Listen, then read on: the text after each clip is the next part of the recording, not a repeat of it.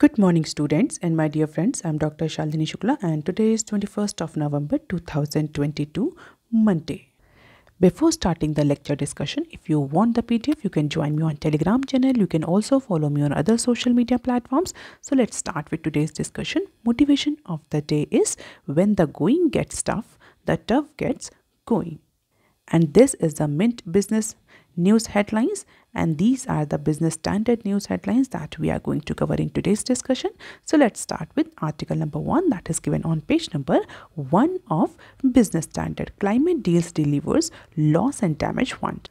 Egypt में C O P twenty seven का extended negotiation चल रहा था। C O P twenty seven ख़त्म हो गई थी, उसका एक्सटेंडेड नेगोशिएशन चल रहा था और फाइनली इस एक्सटेंडेड नेगोशिएशन में एक लैंडमार्क डिसीज़न लिया गया। उस लैंडमार्क डिसीज़न में loss and damage fund create कर दिया गया फाइनली जिसको एल डी एफ़ बोला जा रहा है। और इसकी डिमांड बहुत टाइम से चली आ रही थी। It was a long awaited decision जिसको लेकर के डेवलपिंग कंट्रीज़ हर बार अप्रॉक्सीमेटली हर COP में अपनी वॉइस रेज कर देते तो फाइनली एक्सटेंडेड नेगोशिएशन में इस लॉस एंड डैमेज फंड को क्रिएट कर दिया गया। तो this first ever L D F has been created to compensate the developing countries developing nations for harm that is caused by the climate extremes basically climate extremes कौन है? जो developed countries हैं वो, जो कि ऑलरेडी डेवलप हो चुके हैं, जिन्होंने ऑलरेडी इकोलॉजी को इन्वायरमेंट को नुकसान पहुँचा दिया है। ऐसे जो कंट्रीज़ हैं, वो अब लॉस एंड डैमेज फंड मिलकर क्रिएट करेंगे, जिससे कि जो डेवलपिंग कंट्रीज़ हैं, उनको जो हार्म हुआ है उस क्लाइमेट एक्सट्रीम्स की वजह से, उस लॉस को कॉम्पनशेट किया जा सके। और डेवलपिंग कंट्रीज़ बहुत टाइम से इस एलडीएफ को क्रिएट करने की डिमांड कर रहे थे। तो फाइनली जो एक्सटेंडेड नेगोशिएशन है, उसमें ये एल क्रिएट कर दिया गया लेकिन जो अदर की इश्यूज़ थे, जैसे कि phasing down all the fossil fuel और इसके अलावा, जिसके लिए स्पेशली इंडिया वॉइस रेस कर रहा था, इन इन सारे इश्यूज़ अदर की इश्यूज़ पर, अभी जो प्रोग्रेस है, वो बहुत ज़्यादा नहीं हुई है। हम सकते हैं लिटिल प्रोग्रेस अचीव करी है एक्सटेंडेड नेगोशिएशंस के थ्रू कंट्रीज़ ने और पार्टीज़ ने। फाइनली जो इम्प्लीमेंटेशन प्लान रिलीज़ किया है यू ने after this extended negotiation of three days वहाँ पर ये क्लियरली बोला गया है कि जो यूएन है वो इस फंडिंग अरेंजमेंट का जो डिसीज़न है, इसको वेलकम करता है। इससे क्या होगा, जो लॉस एंड डैमेज जो फंड क्रिएट किया गया है, इससे जो डेवलपिंग कंट्रीज़ हैं, उनको अपने इन्वायरमेंटल इश्यूज़ को एड्रेस करने का मौका मिलेगा। इट मीन्स जो ऑलरेडी उनको डैमेज हो चुका है, उस डैमेज को कॉम्पनशेट करने के लिए इस एल डी एफ़ फंड के थ्रू डेवलपिंग कंट्रीज़ को फाइनेंशियल असिस्टेंट दी जाएगी। ऑल दो फाइनल डिटेल्स की अगर बात करें कि एल डी एफ़ कैसे काम करेगा, कौन सा कंट्री कितना कंट्रीब्यूट करेगा, किस तरीके से डेवलपिंग कंट्रीज़ को फंडिंग करी जाएगी, इसको लेकर के जो की डिटेल्स हैं फाइन डिटेल्स हैं, फ़िलहाल के लिए वो एल डी एफ़ में मिसिंग हैं। लेकिन इसको एक बहुत लैंडमार्क डिसीज़न माना जाए कि फाइनली डेवलप कंट्रीज़ जो हैं वो एग्री हुए हैं इस एल डी एफ़ फंड को के क्रिएशन को लेकर के ऑल दो ये कैसे काम करेगा इसकी फंक्शनिंग क्या होगी एडमिनिस्ट्रेशन क्या होगा इसको लेकर के बहुत ज़्यादा डिटेल अभी पब्लिश नहीं हुई है। अगर टेक्स्ट को देखा जाए तो उसमें जो वर्ड्स लिखे हैं वो ये लिखे हैं कि institutional arrangement for averting, minimizing, addressing the losses and damages associated with the adverse effect of climate change to enable its full operationalisation तो फ़िलहाल के लिए टैक्स में बहुत ज़्यादा एम्बिग्विटी है, लेकिन एटलीस्ट ये एक सिग्निफिकेंट स्टेप माना जा सकता है, जबकि जो डेवलप कंट्रीज़ थे वो हमेशा से इस इशू को लेकर के अपना हाथ पीछे खींचते आए हैं। तो it's a good news for developing countries at least they can compensate their losses that has been happened by the extreme climate events due to the develop countries developing growth trajectory so this is the agreement key points nothing in agreement on emission reduction or mobilizing great financial and tech resources to fight the climate change so technology को लेकर के और uh, funds को लेकर के फ़िलहाल emission पर जो भी डिमांड थी इंडिया की वो इस पर्टिकुलर एग्रीमेंट में या प्लान में या ड्राफ्ट में कहीं भी नहीं दिख रही है L D F is the only bright spot जो अदर की इशूज़ हैं ऑपरेशनलाइजेशन को लेकर के कि एलडीएफ कैसे ऑपरेशनलाइज होगा ट्रांजिशन कमेटी कैसे काम करेगी एमिशन को लेकर के जो क्लॉसेस थे फंडिंग टेक्नोलॉजी शेयरिंग को लेकर के जो भी क्लॉसेस थे, वो फ़िलहाल के लिए किसी भी तरह से ड्राफ्ट में रिफ्लेक्ट नहीं हो। ड्राफ्ट मीन्स जो नेगोशिएशन हुआ है, उसका इंटरम ड्राफ्ट जो भी पब्लिश हो रहा है कि क्या क्या की डिसीजंस लिए गए उस सी ट्वेंटी सेवन में। तो जो इम्पोर्टेंट जो ब्राइट स्पॉट है, वो केवल और केवल एल डी एफ़ फंड है। और इससे पहले भी एक तरह की फंडिंग हंड्रेड बिलियन की फंडिंग इससे पहले भी अगर आप थोड़ा सा C O P twenty seven twenty six के बारे में जानते हैं तो उसमें भी हंड्रेड बिलियन फंड क्रिएट किया गया था, जो कि अभी तक ऑपरेशनलाइज नहीं हो पाया। जहाँ पर डेवलप कंट्रीज़ ने बोला था कि वो yearly hundred billion dollar fund जो है वो पूल फंड पूल रेज करेंगे in order to assist the developing countries for climate changes and extreme event हालाँकि वो जो पिछले C O P twenty six का जो एग्रीमेंट था, जो नेगोसिएशन था, वो अभी तक मेचुरलाइज नहीं हो पाया तो कई सारे एक्सपर्ट का भी कहना है कि जो एल टी एफ़ फंड भले ही पेपर पर क्रिएट हो चुका है, लेकिन एक्चुअली में कैसे फ़ंक्शन करेगा करेगा भी नहीं, करेगा कब तक करेगा what is the time line इसको लेकर के बहुत ज़्यादा क्लैरिटी नहीं है। इंडिया ने, हालाँकि इस particular L D F fund creation को वेलकम किया है और इंडिया का भी ये कहना है कि मच अवेटेड डिसीज़न जो फाइनली यूएन में एस ट्वेंटी सेवन में ले लिया गया है। हालाँकि इसका इम्पैक्ट इसका इम्प्लीमेंटेशन अभी भी बहुत बड़ा क्वेश्चन मार्क है। अब देख लेते हैं article number two that is given on page number one of business standard और इसी के साथ हम पेज नंबर तीन और पेज नंबर चार पर दिए हुए भी आर्टिकल्स कवर करेंगे। पेज नंबर दो और चार पर दिए हुए आर्टिकल्स भी कवर करेंगे। Why I am covering all these article in one pair in one section because all these articles or all the, all these news articles are related to the data protection bill. Data protection bill को लेकर के हैं ये सारे article तो हम इनको एक साथ ही डिस्कस कर लेते हैं। देख लेते हैं, पहला आर्टिकल क्या है? Expert seek clarity on timelines and definition और ये आर्टिकल पेज नंबर दो पर दिया हुआ है। तो डेटा प्रोटेक्शन बिल जो कि इंट्रोड्यूस हुआ है लास्ट वीक पार्लियामेंट में उसको लेकर के जो एक्सपर्ट्स हैं वो कई सारे इश्यूज़ पर क्लैरिफिकेशन और सिंप्लीफिकेशन मांग रहे हैं, क्योंकि जो इंडस्ट्री एक्सपर्ट है, उनका ये कहना है कि जो बिल लाया गया है डेटा प्रोटेक्शन जो ड्राफ्ट है, जो बिल है, इसमें कई सारे ऐसे इश्यूज़ हैं जिनको लेकर के क्लैरिटी नहीं है एम्बिग्विटी नहीं है टाइम लाइन कोई डिसाइड नहीं है तो इसको लेकर के एक्सपर्ट का ही डिमांड है कि कुछ ऐसे आस्पेक्ट हैं प्रपोज लॉ में, जैसे कि टाइम लाइन और डेफिनेशन को लेकर के जिसको क्लियर करना बहुत ज़रूरी क्योंकि आगे आने वाले टाइम में जो टेक्नोलॉजी है, वो हर जगह पेनेट्रेट करेगी और डेटा जो क्रिएट होगा there will be the huge creation of data तो डेटा प्रोटेक्शन बिल जो है, वो बहुत इंपॉर्टेंट है, बहुत सिग्निफिकेंट है। केवल टेक्नोलॉजी कंपनीज़ के लिए ही नहीं, हर उस सेक्टर के लिए जहाँ पर डेटा डिजिटल डेटा क्रिएट हो रहा है। और इसी वजह से इंडस्ट्री एक्सपर्ट्स हैं एसोसिएशंस हैं they are demanding more clarity and timeliness हालाँकि बिल अभी पास नहीं हुआ है, इसका केवल इंट्रोडक्शन हुआ है।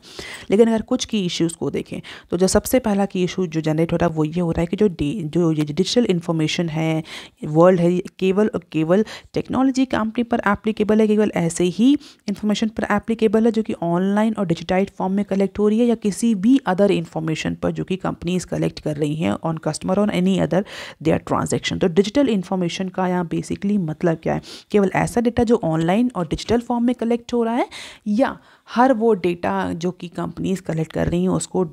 डिजिटल इन्फॉर्मेशन में इंक्लूड किया जाएगा। इट मीन्स जो एक्सपर्ट्स हैं they are asking about handwritten and non digitise record जो नॉन डिजिटाइज रिकॉर्ड है, जैसे हम अपने के फॉर्म्स में भरते हैं। क्या इस तरह के जो हैंड रिटन और और नॉन डिजिटाइज रिकॉर्ड्स हैं, क्या इन पर भी ये डिजिटाइजेशन वाला जो डेटा प्रोटेक्शन बिल है वो एप्लीकेबल होगा। तो बेसिकली डेटा को लेकर के कि व्हाट इज़ डेटा इसको लेकर के क्लैरिटी मांगी है इंडस्ट्री एक्सपर्ट ने। क्योंकि अगर हैंड रिटन और नॉन डिजिटलाइज डेटा रिकॉर्ड्स पर भी अगर ये बिल एप्लीकेबल होता है तो उसका भी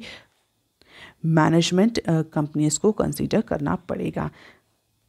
ऑल दो जो ये बिल इंट्रोड्यूस किया गया है, ये पब्लिक कंसल्टेशन के लिए ओपन है दिसंबर सेवनटीन तक। और ऐसा कहा जा रहा है कि इसका जो फाइनल वर्जन है, वो नेक्स्ट ईयर का जो बजट सेशन है, उसमें प्रेजेंट किया जाएगा। हालाँकि पहले जो डेटा प्रोटेक्शन बिल आया था, उसके कंपैरिजन में ऐसा कहा जा रहा है कि जो बिल है सिंपल है और और बेटर आर्टिकुलेटेड है। जो एम्बिग्विटीज थी, जो क्लैशेस थे पिछले बिल में डेटा प्रोटेक्शन बिल में, वो इस बिल में नहीं है।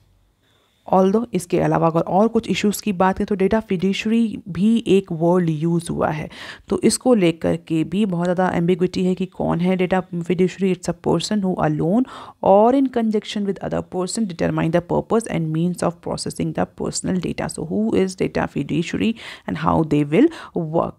इसके अलावा इंडिपेंडेंट ऑडिट को लेकर के भी बहुत ज़्यादा कन्फ्यूज़न है apart from it the different industry expert are actually welcoming this particular bill और उनका कहना है कि जो अब बिल जो आया है, ये बेटर अलाइंड है और सिंपल है, जिसकी वजह से जो अडॉप्शन है डेटा प्रोटेक्शन बिल का या जो डेटा प्रोटेक्शन ड्राफ्ट है, अगर एक्ट हो जाता है तो इसका अडॉप्शन ईजी होगा in comparison to the previous bill so these are the uncertainties की डेटा फिडिशरी को लेकर के what is actually digital data क्या जो इन्फॉर्मेशन है डेटा है, केवल डिजिटल डेटा ही कवर होगा, इसके अलावा जो हैंड रिटन अनरिकॉर्डेड डेटा है, क्या वो भी इस पर्टिकुलर बिल के तहत आएगा, इसके अलावा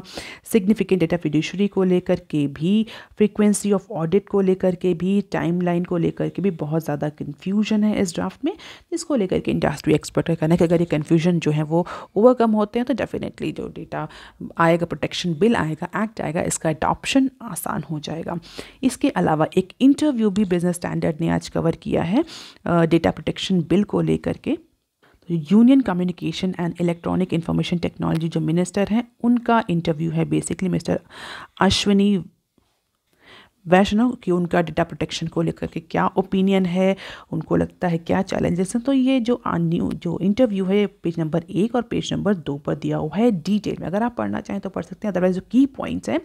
वो यही है कि जो डेटा प्रोटेक्शन बिल है that is not actually hard coded it should be organic organic means कि जब टाइम आए, क्योंकि टेक्नोलॉजी चेंज होगी तो डेफिनेटली डेटा प्रोटेक्शन बिल को भी चेंज होना होगा। That's organic and lively document ऐसा कुछ भी नहीं कि इसमें कि हार्ड कोर इसमें डिफाइंड है वो चेंज नहीं हो सकता।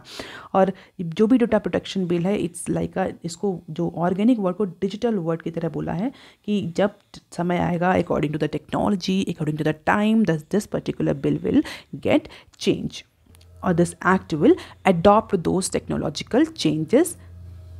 in order to facilitate the data privacy as well as the functioning of the industry and sector इसका मतलब कि कंज्यूमर का की प्राइवेसी भी बनी रहा और जो कंपनीज़ हैं, उनको भी ऑपरेट करने में ईजीनेस रहे। ऐसा नहीं रहा हो कि ये जो डेटा प्रोटेक्शन बिल इतना डिफ़िकल्ट है, इतना चैलेंजिंग है या इतना हार्ड कोर है कि जो कंपनीज़ हैं, जो टेक्नोलॉजी कंपनीज़ हैं, वो ऑपरेट ही नहीं कर पा रही। इसके अलावा इंडिया के डेटा प्रोटेक्शन को लेकर के जो अदर कंट्रीज़ के साथ इश्यूज़ होते हैं, उसको भी लेकर के क्लैरिटी हो। ऐसा जो कम्युनिकेशन मिनिस्टर हैं electronic and information technology minister हैं उनका ये मानना है। इसके अलावा इस पर्टिकुलर बिल का जो बिग पोर्शन है, वो बेसिकली टेलीकॉम कंपनीज़ पर एप्लीकेबल होगा डायरेक्टली अभी as of now telecom companies बहुत ज़्यादा इम्पैक्ट होंगी इस डेटा प्रिवेसी बिल को लेकर के और इनका लार्ज पोर्शन जो शेयर का इम्प्लीमेंटेशन का जो रिस्पॉन्सिबिलिटी जाती है, वो टेलीकम्युनिकेशन कंपनीज़ पर जाती है। इसके अलावा ऐसा भी एंटिसिपेट किया जा रहा है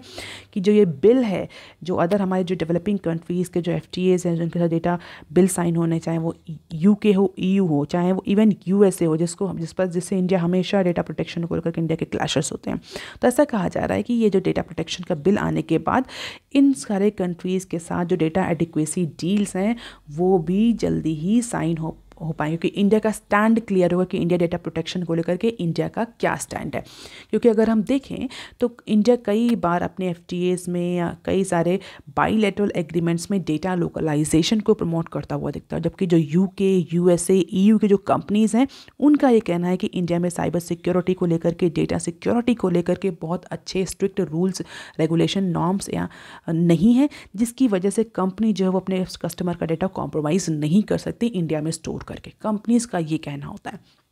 तो ऐसा कहा जा रहा है कि अगर इंडिया में ये डेटा प्रोटेक्शन बिल आ जाता है तो probably India may find it easier to deliver data secure status by negotiating the data adequacy agreements between UK with UK and with other European Union countries तो ऐसा कहा जा रहा है कि once this D P D DPDP bill is get passed or processed in parliament India के लिए UK और ईयू से डेटा एडिक्वेसी डील साइन करना आसान हो जाएगा क्योंकि इंडिया का स्टैंड क्लियर हो जाएगा डेटा प्रोटेक्शन डेटा लोकलाइजेशन को लेकर के। अब देख लेते हैं article number five that is given on page number six और इसी के साथ हम पेज नंबर छः पेज नंबर छः पर दिए हुए दो और आर्टिकल भी कवर करेंगे। बेसिकली जितने भी आर्टिकल्स हैं, ये इंडियन इकोनॉमी से रिलेटेड हैं इंडियन इकोनॉमी के कुछ इंडिकेटर्स हैं ग्रोथ इंडिकेटर उससे related and then that is why we are discussing all this article in one column तो देख लेते हैं, पहला आर्टिकल क्या है? F P I snap up equity worth thirty K crore in नवंबर तो जब से रशिया यूक्रेन क्राइसिस स्टार्ट हुई है, उसके बाद से इंडिया में जो एफपीआई है, उसमें आउटफ्लो जो हम बोल सकते हैं एनआरआई का इन्वेस्टमेंट है, जो फॉरेन पोर्टफोलियो इन्वेस्टर्स हैं, उसमें आउटफ्लो देखने को मिल रहा है। लार्ज अमाउंट में जो फॉरेन इन्वेस्टर्स हैं, वो इंडिया से अपना इन्वेस्टमेंट पुल आउट कर रहे हैं क्यों क्योंकि क्राइसिस के ड्यूरेशन में जो इमर्जिंग मार्केट्स हैं, चाहे वो इंडिया हो अदर इमर्जिंग मार्केट्स हैं, उनमें जो इन्वेस्टमेंट होता है, वो रिस्कियर हो जाता है, जिसकी वजह से जो इन्वेस्टर्स होते हैं, वो अपना जो इन्वेस्टमेंट है, वो ज़्यादा सेफ़ टेरिटरी में डालना चाहते हैं। इसके अलावा जिस तरीके से यूएसए में डॉलर की वैल्यू बढ़ रही थी और ये जिस तरह से डॉलर स्ट्रेंदन हो रहा था इंटरनेशनल मार्केट में, उसकी वजह से भी इंडिया से ये F T F P I जो पुल आउट था, ये देखने को मिल रहा था। तो फ़िलहाल के लिए ये ट्रेंड जो रशिया यूक्रेन क्राइसिस स्टार्ट हुई थी, तब से चला था। लेकिन अगर हम नवंबर का डेटा देखें तो नवंबर के मंथ में जो फॉरेन इन्वेस्टर्स हैं they are aggressively buying Indian equity approximately तीस हज़ार करोड़ का इन्वेस्टमेंट एफ़ या फॉरेन इन्वेस्टर्स ने किया है, केवल और केवल नवंबर के मंथ में। Reason behind this Indian rupee जो कंटिन्यूसली डेप्रिशिएट होता आ रहा था पिछले कुछ मंथ्स में, उसमें स्टेबलाइजेशन देखने को मिल रहा है। इसके अलावा जो इंडियन इकोनॉमी इकोनॉमी है, उसकी जो परफॉर्मेंस जो other global counterpart economies हैं, उनके कंपैरिजन में ज़्यादा स्ट्रॉन्ग रही है, ज़्यादा रिजिलियंट रही है। तो जो एंटिसिपेशन था कि इंडिया जो है, वो बहुत ज़्यादा इम्पैक्ट करेगा रशिया यूक्रेन क्राइसिस से एनर्जी क्राइसिस की वजह से global global economic slowdown की वजह से वैसा नहीं हुआ। इसकी वजह से जो फॉरेन इन्वेस्टर्स हैं, उनका कॉन्फिडेंस बढ़ा है इंडियन इकॉनमी में। और उसी कॉन्फिडेंस की वजह से नवंबर के मंथ में इंडिया में हमें एक सिग्निफिकेंट अमाउंट में एफपीआई का इनफ्लो देखने को मिला। As per the recently publish data और ऐसा नहीं है कि सिर्फ़ इंडिया के ही टर्म्स में हमें देखने को मिल रहा इवन चाइना साउथ कोरिया और ताइवान जैसे जो कंट्रीज़ हैं, जो इमर्जिंग मार्केट्स हैं वो भी इस समय अट्रैक्टिव हैं एज़ पर द एक्सपर्ट तो इन सारे कंट्रीज़ में भी जो एफ़ मनी है, वो हमें इंक्रीज़ होता हुआ दिखेगा। इनफ्लो की बात हो रही है, यहाँ पर आउटफ्लो की बात नहीं हो रही। तो फ़िलहाल के लिए इंडिया चाइना साउथ कोरिया और ताइवान इन सारे कंट्रीज़ में एक अट्रैक्टिव इन्वेस्टमेंट डेस्टिनेशन दिख रहा है। फॉरेन इन्वेस्टर्स को तो ये जो इन्वेस्टमेंट इनफ्लो है फॉरेन इन्वेस्टमेंट इनफ्लो है, ये इन कंट्रीज़ में इंक्रीज होता हुआ दिखेगा। According to the depositories India में जो एफ़ इन्वेस्टेड है, वो approximately thirty K crore equities में इन्वेस्ट हुआ है till November one to eighteen और अगर आउटफ्लो की बात करें तो this came following a net outflow of just rupees eight crore last month and seven crore in the month of September तो आउटफ्लो जो एक तो हो गया कि एफ़ आ रहा है इन्वेस्टमेंट आ रहा है बाहर से इंडिया में। इंडिया से जो बाहर इन्वेस्टमेंट हुआ अगर वो देखें तो लास्ट टू मंथ में अप्रॉक्सीमेटली आठ आठ करोड़ और सात करोड़ का जो आउटफ्लो है वो हुआ है। And prior to this outflow foreign investors were net buyers in the month of August and July और इससे पहले का अगर देखें, डेटा देखें तो before that the foreign investors was the net seller in Indian equity market पिछले nine महीनों में, जो हम देखें, अगस्त लास्ट ईयर से स्टार्ट हुआ था, उसके, उससे लेकर के पिछले नौ महीनों तक या अक्टूबर से जो अगर नाइन मंथ कैलकुलेट करें, तब तक के इंडियन जो एफ़ आई थे, वो नेट सेलर थे। इट मीन्स सेलिंग देखने को मिले थे। फ़िलहाल जो भी कुछ लास्ट टू मंथ से हमें ये बाइंग देखने को बाइंग में इंप्रूवमेंट देखने को मिल रहा है। बेसिकली अगर ओवरऑल बोले तो एफ़ पी आई जो है वो इनफ्लो इंक्रीज हो रहा है। और अगर इस साल की बात करें तो इस साल अभी तक जो टोटल आउटफ्लो देखने को मिला है एफ़ में, वो हमें approximately one point four lakhs crore का देखने को मिला है। ये तो बात रही इंडिया में आउटफ्लो और inflow F P I outflow और इनफ्लो की। और एक्सपर्ट का कहना है कि जिस तरीके से यूएस फेडरल के डिसीज़न चल रहे हैं उस इकोनॉमी उसको लेकर के क्लियर है कि आगे आने टाइम में रिसेशनरी कंसर्न रहेंगे, जिसकी वजह से यूएस में जो इन्वेस्टमेंट है वो फॉल आउट या जो other developing economies developed economies हैं, उनमें जो इन्वेस्टमेंट एफ़ है, वो फॉल आउट होता हुआ दिख रहा है और उसके लिए अट्रैक्टिव डेस्टिनेशन ऑल्टरनेट डेस्टिनेशन जो है India China South Korea Taiwan जैसे इमर्जिंग मार्केट कंट्रीज़ ही हैं। अब देख लेते हैं next cut I I T review capital gain tax C I I to government तो यूनियन का 2023 का बजट प्रिपरेशन चल रहा है। जो कंसल्टेंसी डिस्कशन डेलीब्रेशन नेगोशिएशन की प्रोसेस स्टार्ट हो गई है। गवर्नमेंट जो डेटा कलेक्शन करना डेटा रिव्यू करना शुरू कर चुकी है कि उसके बेसिस पर आगे आने वाले फाइनेंशियल ईयर का in financial year twenty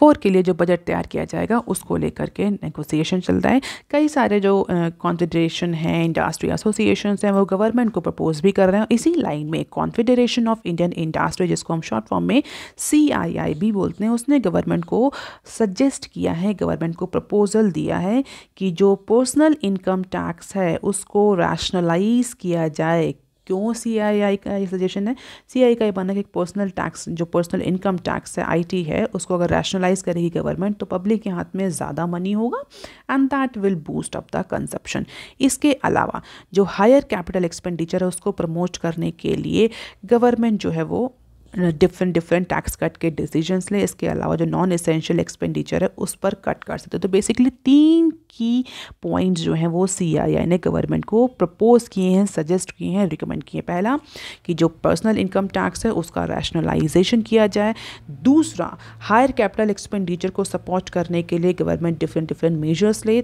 तीसरा, जो नॉन इसेंशियल एक्सपेंडिचर हैं गवर्नमेंट के, उसको रिड्यूस किया जाए जिससे कि जो इसेंशियल सेक्टर्स हैं इंफ्रास्ट्रक्चर जैसे सेक्टर है, वहाँ पर इन्वेस्टमेंट प्रमोट हो सके। इन सबसे क्या होगा? इन सबसे ओवरऑल जो है वो कंजप्शन बूस्ट होगा और जो इकोनॉमी में जो रिसेशन आने का जो फियर है वो रिड्यूस होगा।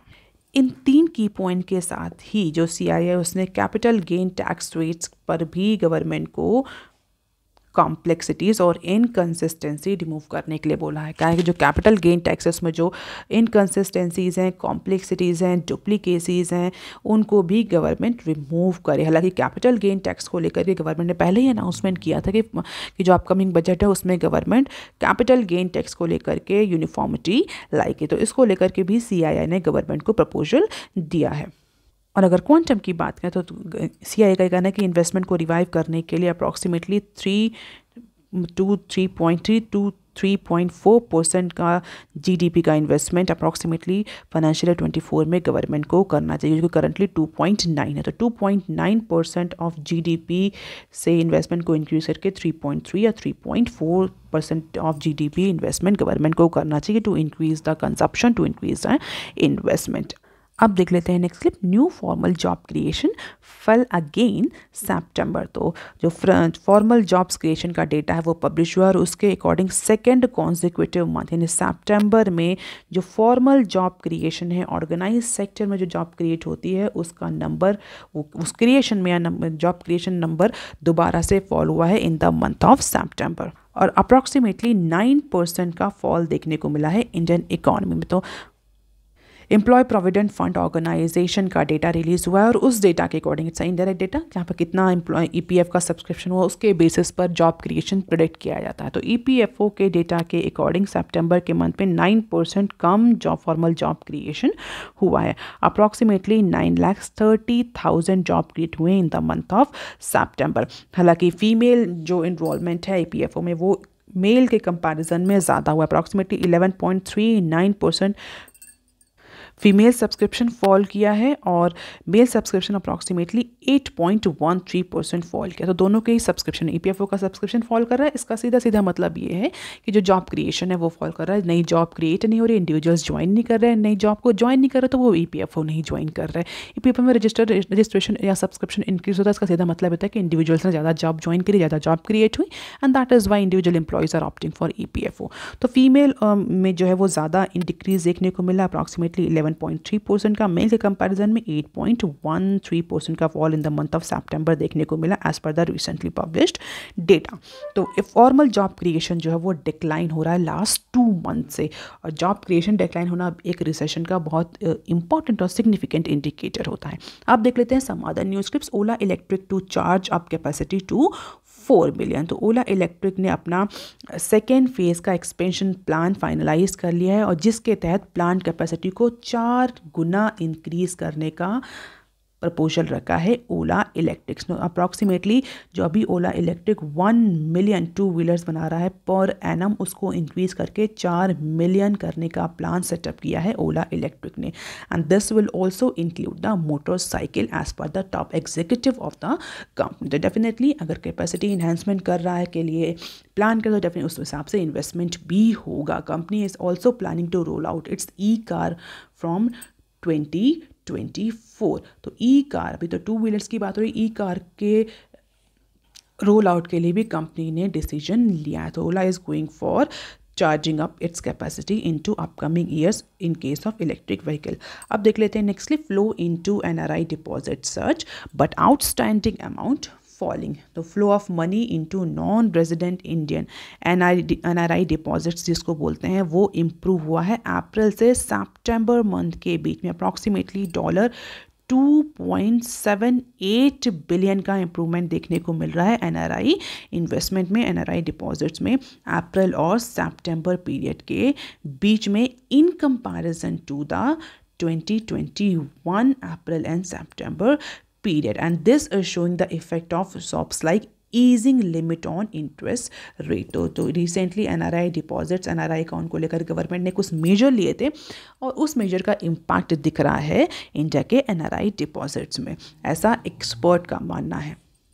इसके अलावा आउटवर्ड जो रेमिटेंसेस है, वो 50 परसेंट तक जम करके into first half of financial year 23 तो outward remittances under the liberalise remittance scheme जिसको एलआरएस बोलते हैं। अगर आप रेगुलरली फॉलो कर रहे हैं मेरा न्यूज़ चैनल तो आपको पता होगा लिबरलाइज रेमिटेंस स्कीम जहाँ पर गवर्नमेंट ने रिज़र्व बैंक ऑफ़ इंडिया ने, जो रेमिटेंसेज हैं आउटवर्ड इनवर्ड रेमिटेंसेज हैं, उनको थोड़ा सा लिबरलाइज कर दिया, उनका डॉक्यूमेंटेशन ईज आउट कर दिया था, जिसकी वजह से इंडिया में जो outward remittances outward remittances means India से बाहर जो पैसा जा रहा है रेमिटेंसेज जा रहे हैं, उसमें पचास पचास परसेंट का इंक्रीज देखने को मिला है अप्रैल एंड सेप्टेम्बर पीरियड में into this financial year in comparison to the previous year और as per the recently release data approximately dollar 13.4 billion का आउटवर्ड रेमिटेंस हुआ है इस फाइनेंशियल ईयर के फ़र्स्ट हाफ़ में, जो कि पिछले साल आठ दशमलव नौ बिलियन डॉलर था। तो एलआरएस की वजह से ये ये रेमिटेंसेस में इनफ्लो के इनफ्लो आउटफ्लो में हमें इंक्रीज देखने को मिल रहा है। अब देख लेते हैं next clip India should nudge US to appoint जजेस to W T O W T O में जो जजेस अपॉइंटमेंट है, उसको लेकर के बहुत टाइम से डिस्कशन चल रहा है। जजेस जो है वो रिटायर हो गए और उसका जो सबसे जो इंपॉर्टेंट इसमें की रोल प्ले करना है, वो यू एस को करना है। और फ़िलहाल के लिए इस, जिसकी वजह से जो डिस्प्यूट सेटलमेंट बॉडी है डब्ल्यू टी ओ की, वो नॉन फंक्शनल हो गई है। बहुत सारे डिस्प्यूट जो हैं वो पेंडिंग पड़े हुए हैं, क्योंकि जजेस का अपॉइंटमेंट नहीं हो रहा। उसी को लेकर के ये एक एडिटोरियल टाइप का है, जहाँ पर एक्सपर्ट का ये कहना है कि इंडिया जो है वो जी ट्वेंटी समिट में फ़िलहाल के लिए जिस तरीके से प्रेसिडेंसी लेने जा रहा है, वहाँ पर कुछ, उसके बाद इंडिया को कुछ की इश्यूज़ पर वर्क करना चाहिए। और जो सबसे इंपॉर्टेंट की इशू है, वो है अपॉइंटमेंट ऑफ़ जजेस इनटू डब्ल्यू तो जो डिस्प्यूट सेटलमेंट बॉडी है डब्ल्यू की, जो कि सेंट्रल पिलर है इस मल्टीलैटरल ट्रेडिंग सिस्टम का, उसमें इंडिया को यूनिकली कॉन्ट्रीब्यूट करना चाहिए by stabilising the global economy और इसके लिए इंडिया को यूएस के साथ मिल करके इस पर्टिकुलर इशू पर काम करना चाहिए कि जो यूएस ब्लॉक कर रहा है जजेस के अपॉइंटमेंट के डिसीज़न को D B S dispute settlement body में डी बी में उसको ना रोके और डब्ल्यूटीओ में जजेस का अपॉइंटमेंट टाइमली हो जिसकी वजह से जो पेंडिंग डिस्प्यूट्स हैं उनको टाइमली मैनर में सेटल किया जा सके। सो so, ये ऐसा एक्सपर्ट का मानना है। So that is all for today students if you want lecture P D F you can join me on Telegram channel you can also follow me on other social media platforms if you have any query in suggestion you can write on comment section below please like share and subscribe thank you have a nice day